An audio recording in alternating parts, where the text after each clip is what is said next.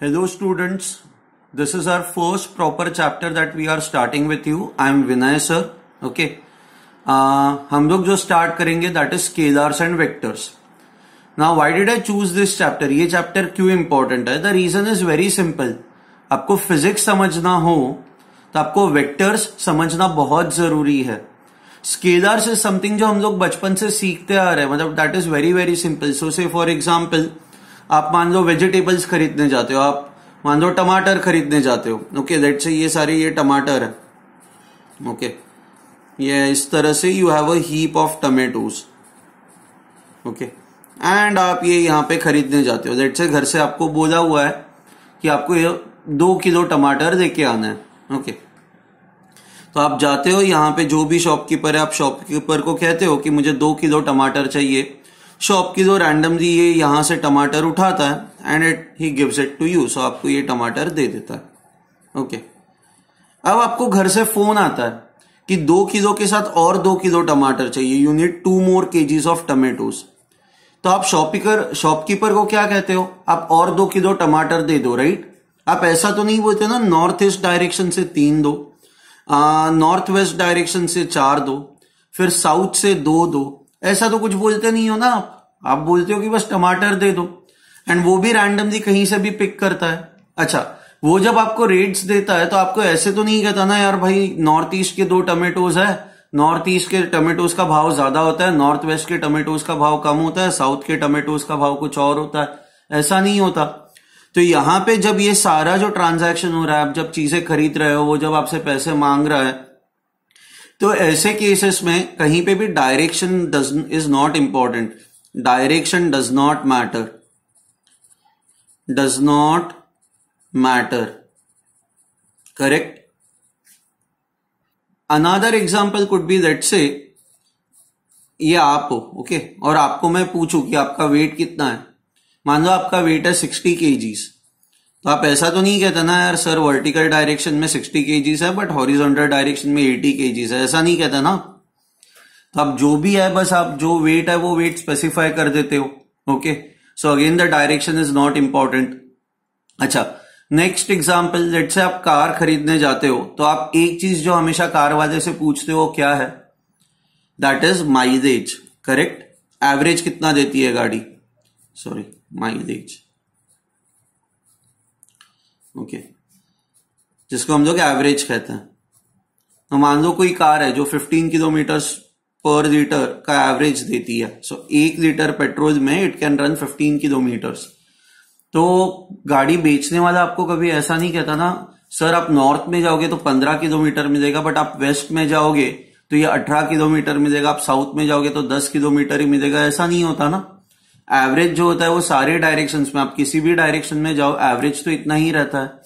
So this again becomes an example of a scalar quantity क्योंकि direction does not matter so all those quantities where direction does not matter direction से कोई फ़र्क नहीं पड़ता, उनको हम लोग कहते हैं स्केलर क्वांटिटीज बिकॉज़ डायरेक्शन से फ़र्क नहीं पड़ता तो डायरेक्शन स्पेसिफाई हम करते ही नहीं है।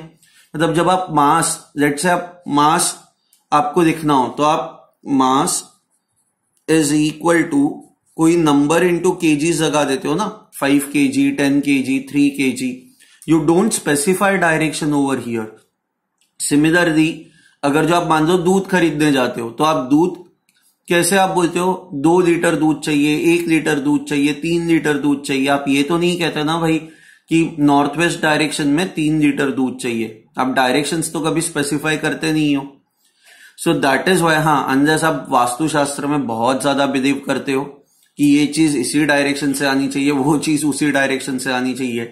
तो अगर जब हम लोग उस चीज़ को हटा दे तो नॉर्मली हम लोग इन सारी चीज़ों को मेजर करते वक्त we do not consider direction so that is why all these quantities are called as scalar quantities so example of scalar quantities mass volume फिर आती है डेंसिटी जिसको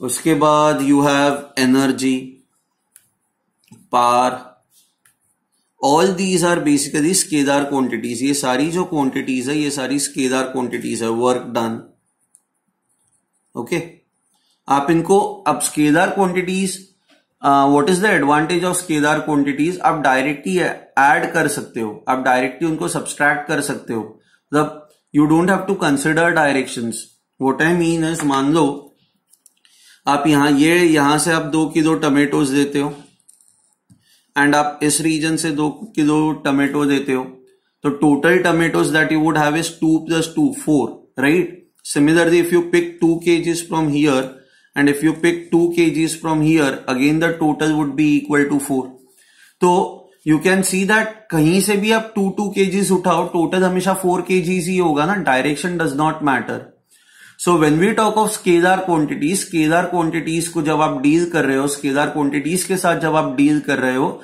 डायरेक्शन से कोई फ़र्क नहीं पड़ता डायरेक्शन डज नॉट मैटर ठीक है? But now when we talk of vector quantities vector quantities are the quantities during which या during their understanding, yeah, during their analysis, direction becomes very, very important, very important.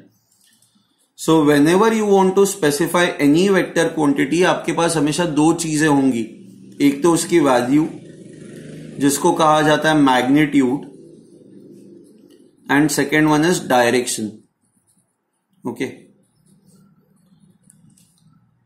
Now, let's say ये let me give you an example of a vector quantity और जहाँ पे direction becomes important late say आप एक cross road पे फंस गए हो।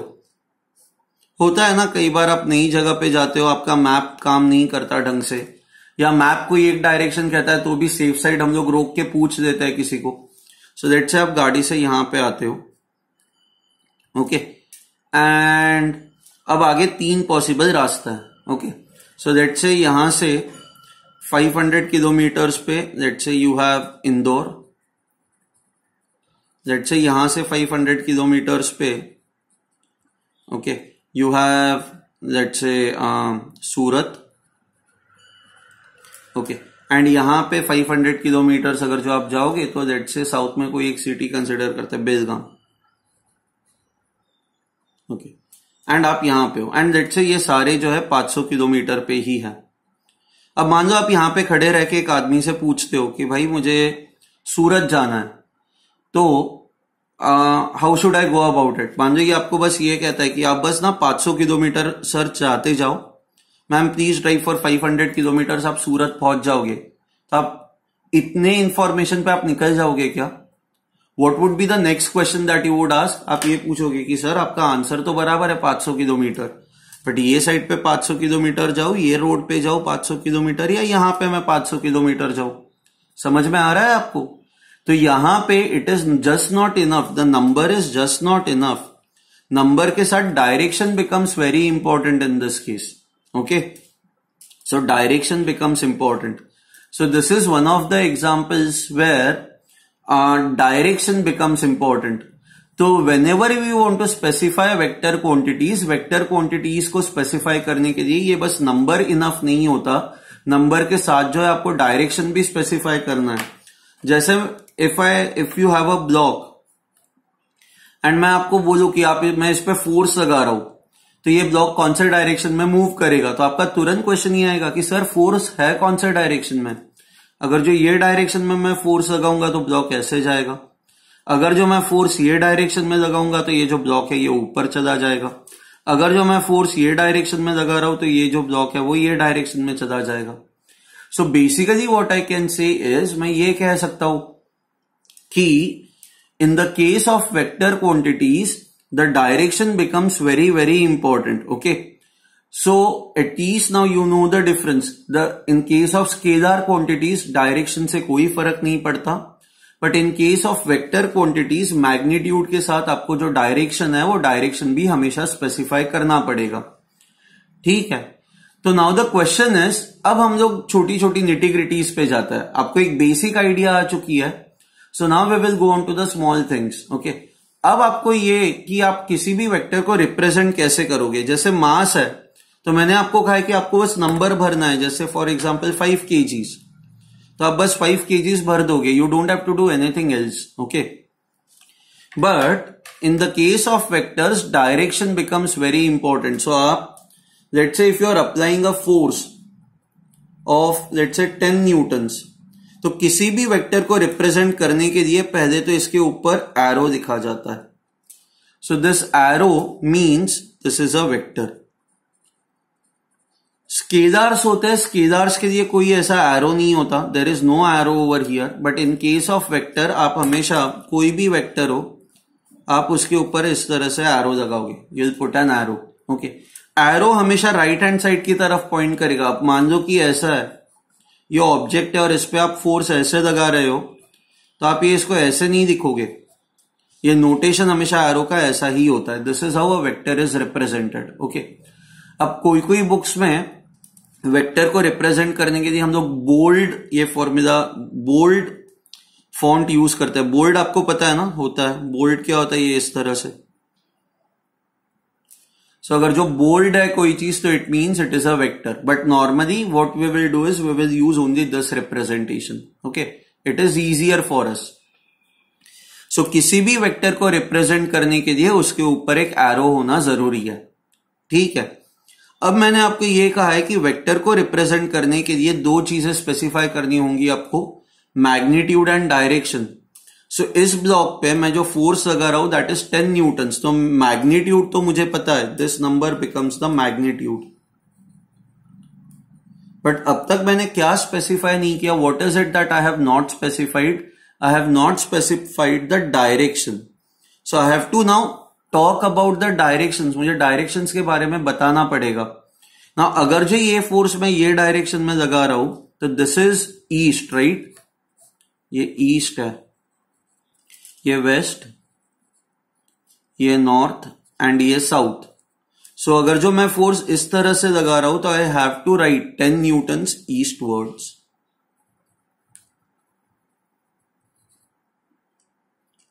ठीक है? और टूवर्ड्स ईस्ट मान लो अगर जो मैं फोर्स ऐसे लगा रहा हूँ okay let's say this is F one this is F two तो एफ़ टू जो है let me let say the magnitude of F2 is five newton for example तो इसका डायरेक्शन ऊपर की तरफ़ है ना, आप ये ब्लॉक पे फोर्स जो F2 लगा रहे हो, ये ऊपर की तरफ़ लगा रहे हो। ऊपर का डायरेक्शन होता है north so write it towards north ठीक है? सिमिलरली अगर जो फॉर एग्ज़ाम्पल आप सी इस केस में ना, इस केस में एंड इस केस में it is very easy to specify the direction ये एक ईस्टवर्ड्स था और एक ये नॉर्थवर्ड्स था. बट मान लो कि ऐसा कुछ है. ये मान लो हमारे डायरेक्शन है. East north west south let say this is north east, this is south west. ठीक है? सॉरी हाँ। एंड यहाँ पे हमने एक ऑब्जेक्ट रखा हुआ है। अब आप इस तरफ़ फोर्स लगाओगे तो आप कहोगे it is towards east towards west towards north towards south towards north east towards south west ये ठीक है। बट मान लो कि फोर्स जो है, अगर जो फोर्स ऐसे कोई डायरेक्शन में आप लगा रहे हो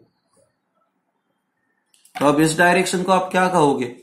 ये ना ही ईस्ट है, ये ना ही नॉर्थ ईस्ट है। तो उसके लिए आपको ये एंगल्स पता होना चाहिए ना। मान लो ये एंगल है twenty degrees.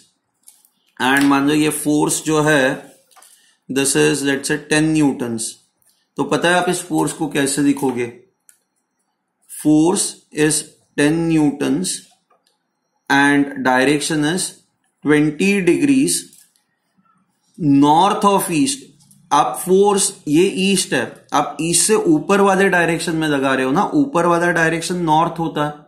So twenty degrees north of east okay this is how you will specify it you can see that कोई कोई केसेस में it is very simple east है नॉर्थ है तो it is very simple to specify but in some cases it start becoming complicated it becomes complicated समझ में आया ये आपको?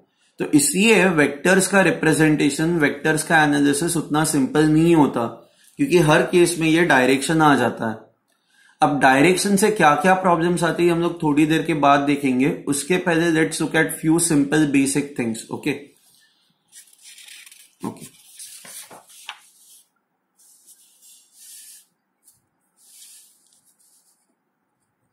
So let's start off first with parallel vectors.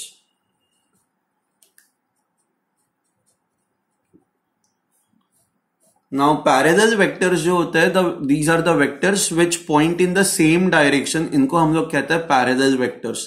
So, मान लो ये एक फोर्स है F1 एंड मान लो दूसरा वेक्टर है acceleration acceleration is also an vector and that's acceleration vector is in this direction या एफ़ टू हम लोग फोर्सेस ही देते तो it becomes it will become simple for us to discuss few more things okay so अच्छा now you can see that मैंने एक arrow छोटा बनाया है और दूसरा एरो बड़ा बनाया है। सबसे पहली चीज़ because both are pointing in the same direction इन दोनों का डायरेक्शन सेम है, हम इनको कहेंगे these are your parallel vectors so parallel vectors are the ones which have got same direction okay now दोनों की लेंस डिफरेंट है। नाउ इसका मीनिंग क्या है? अब ऊपर वाला जो वेक्टर है, इसकी लेंथ छोटी है so this vector has a smaller magnitude so मान लो this is ten newtons okay तो ये जो बड़ा वाला वेक्टर है दिस इज़ रफली around three times this length ना, ये जो लेंथ है, मैं थोड़ा और एक्सटेंड कर देता हूँ तो आपको बिलीव होगा ये। राइट ना दिस इज़ रफली three times of this length तो अगर जो लेंथ थ्री टाइम्स है तो we will see that magnitude भी जो है, वो थ्री टाइम्स है।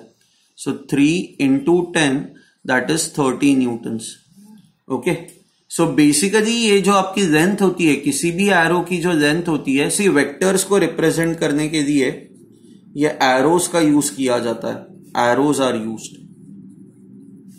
are use to represent vectors ठीक है? Arrows are use to represent vectors ये आया आपको समझ में?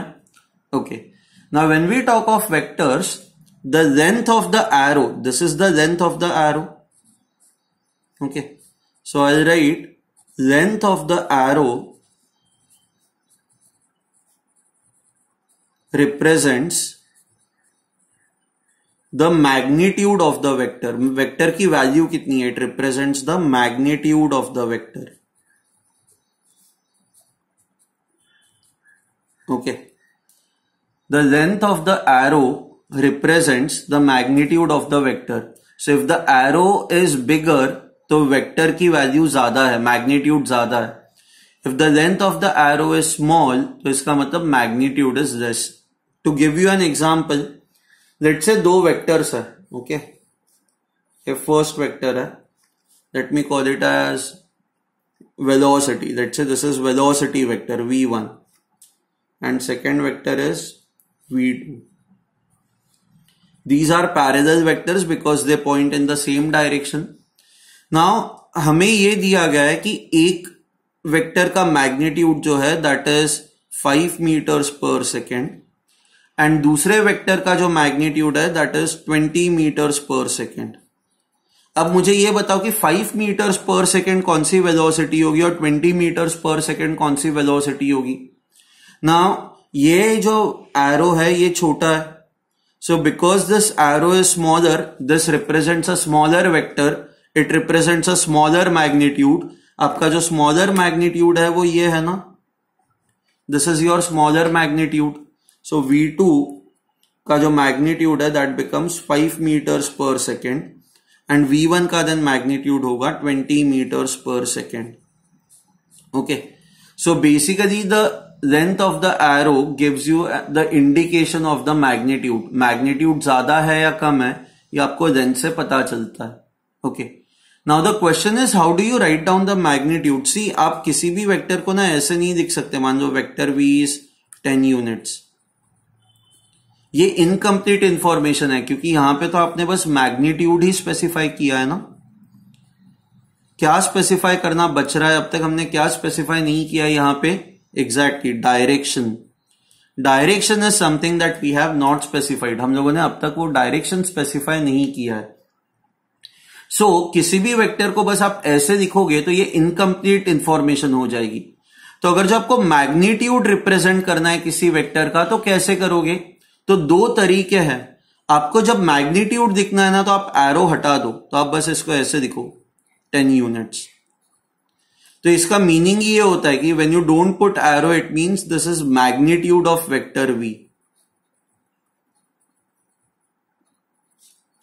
of vector V या फिर दूसरा तरीका ये होता है, आप ऐसे दिखो टेन यूनिट्स ये जो होते हैं दो लाइन्स ये दो लाइन्स इसको हम लोग मॉड कहते हैं। आपने नाइन टेन स्टैंडर्ड में पढ़ा होगा mod. This also represents the magnitude of vector okay so magnitude represent करने के दो तरीके हैं। इधर आप ये ऊपर वाला एरो हटा दो या फिर आप ऊपर वाला एरो रख रहे हो तो just put mod sign over here ना, आप लोगों ने नाइन टेंथ में शायद ये इसके बारे में पढ़ा है। मॉड साइन जो होता है, मान लो मॉड ऑफ़ माइनस थ्री, ये आपको क्या देगा? Plus three. तो मॉड हमेशा आपको एक पॉजिटिव नंबर देता है। तो उसी तरह से magnitude of any vector is always a positive number. Of any vector is always a positive number और zero it can not be negative वो नेगेटिव नहीं हो सकता। मतलब अगर जो किसी ने ऐसे लिखा हुआ है, मान लो ये फोर्स वेक्टर है विच इज़ लेट से इसका मैग्नीट्यूड है ten newtons and in east direction towards east तो ये अब कंप्लीट रिप्रेजेंटेशन हो गया। मैंने मैग्नीट्यूड भी दिखा और मैंने डायरेक्शन भी दिखा। है बट अगर जो कोई बस ऐसे दिखता है मैग्नीट्यूड अगर जो आपको एफ़ का मैग्नीट्यूड लिखना हो तो आप कैसे दिखोगे? F is simply equal to ten newtons आप ऊपर का एरो हटा दोगे या फिर आप इसको ऐसे दिखोगे। मैग्नीट्यूड आप मॉड साइन के अंदर डाल दोगे this is ten newton this is how you will represent okay अब मान लो कोई और वेक्टर है let say there is a vector X and कोई कहता है कि इसका जो मैग्नीट्यूड है that is minus three units this is absolutely wrong ये पॉसिबल ही नहीं है, क्योंकि magnitude can never be negative ये नेगेटिव साइन आ गई that is not acceptable not acceptable ठीक है? So I hope you have understood this that magnitude is always a positive number. Vector बड़ा है या छोटा है ये हमें कैसे पता चलता है you get to know this depending upon the length of the arrow if the arrow is smaller vector has a smaller magnitude if the arrow is larger vector has a larger magnitude okay and parallel vectors are those vectors which point in the same direction okay अब now we will talk about how do you relate the two आप दो parallel vectors को किस तरह से relate कर सकते हो? It is very very simple okay see ये एक वेक्टर हुआ। Let's call this vector as vector A and ये दूसरा वेक्टर हुआ। This is your vector B okay now if you look at this आप अगर जो बी को टू टाइम्स मल्टीप्लाई करो okay this is your vector B so if you multiply B by two so two into B क्या होगा? See when you multiply a vector by a scalar quantity let me write over here if a vector is multiplied by a scalar quantity then the direction remains same. So then the direction remains same. Okay? The direction remains same but the magnitude changes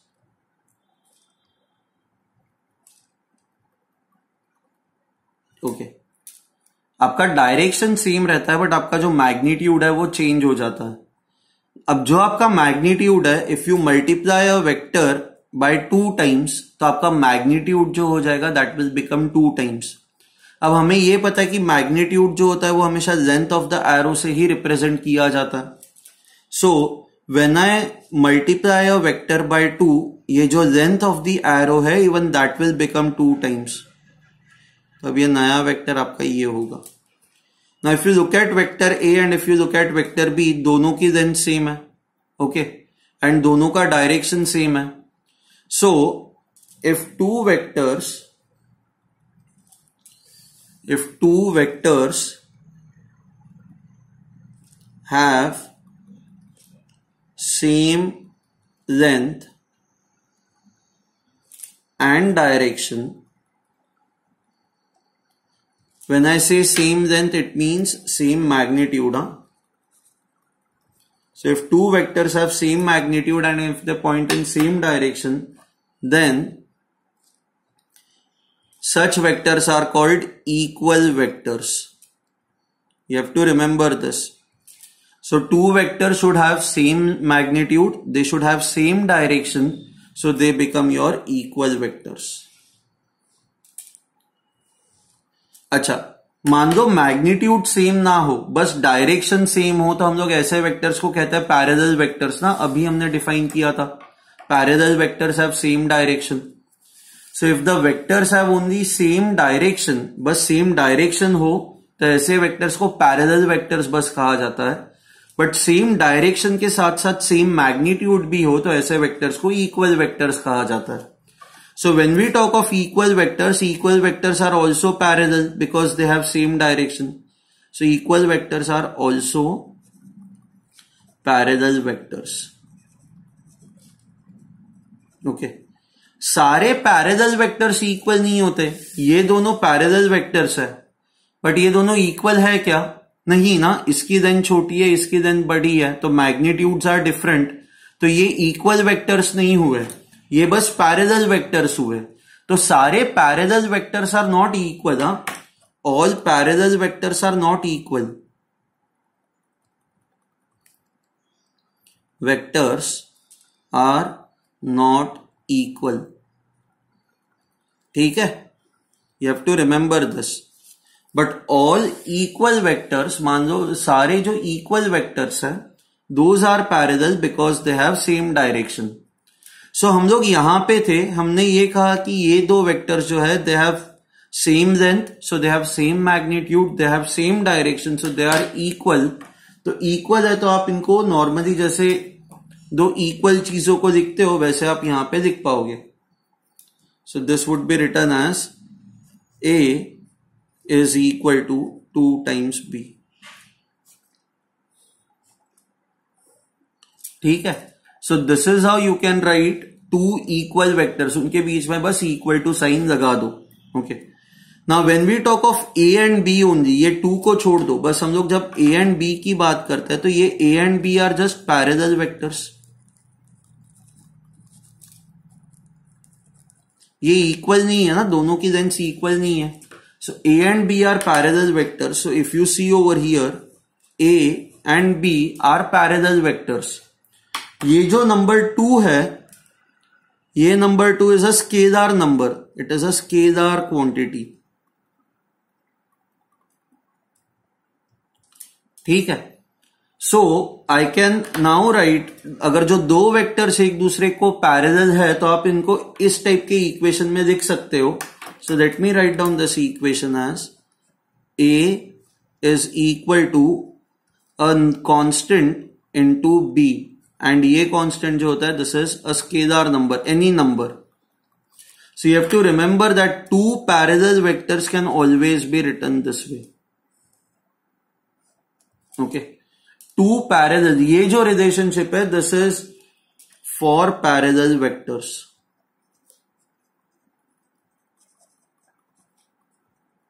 is this fine? You have to remember this. For parallel vectors you can write A is equal to K into B so if you have two vectors जो इस तरह का relationship satisfy कर रहे हैं तो आप कह सकते हो कि ये दोनों वेक्टर जो होंगे, वो पैरेलल होंगे. Okay let me give you an example let say okay you have a vector x is equal to three times vector Y ऐसे अगर जो आपको रिलेशनशिप दी गई है ओके ना you can see that this is a vector this is a vector and यहाँ पे ये जो नंबर है दिस इज़ अ नंबर एक बस नंबर है यहाँ पे। तो in such case I can say vector X and vector Y are parallel vectors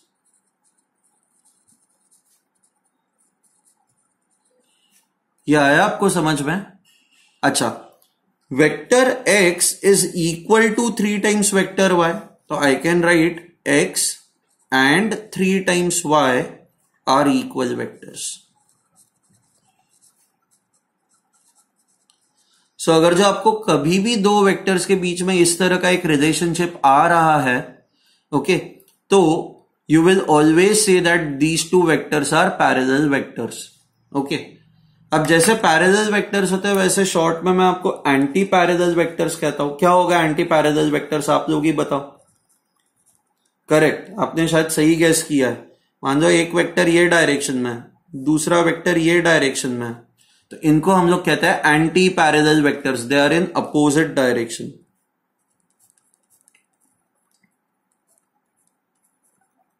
ठीक है?